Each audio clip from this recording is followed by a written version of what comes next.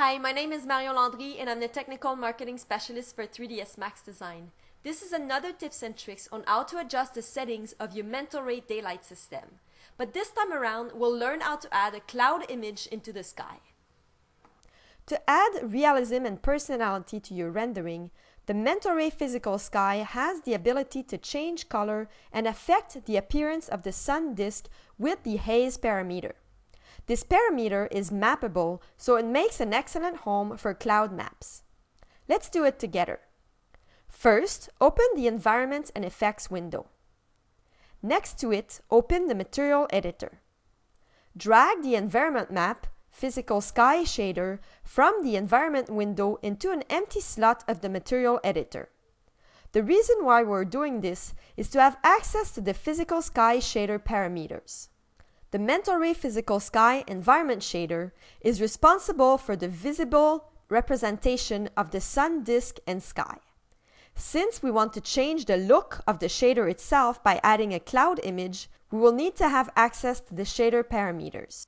Go down to the Mental Ray Physical Sky parameters and uncheck the Inherit from Mental Ray Sky option to have access to the parameters. When this option is checked, the sky parameters are driven from the daylight system settings. You can view these settings in the control panel when your daylight system is selected. Back to the physical sky shader. Now that I have access to the physical sky shader parameters, we will add an image in the haze.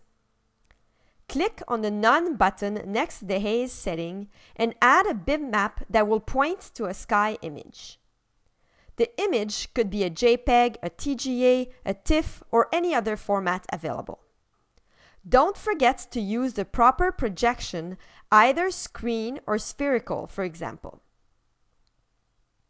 In the sky image parameters, go down to the Output tab and increase the output value in between 1 to 8 depending on your image to see the effect. This will drive the haze value of the sky based on the image. Make sure that the physical sky you just adjusted and changed the parameters is actually in use in your scene. You might have to drag it back to the Environment and Effect window in the Environment Map tab. The white triangle in the corner of the material slot will indicate that the physical sky is in use.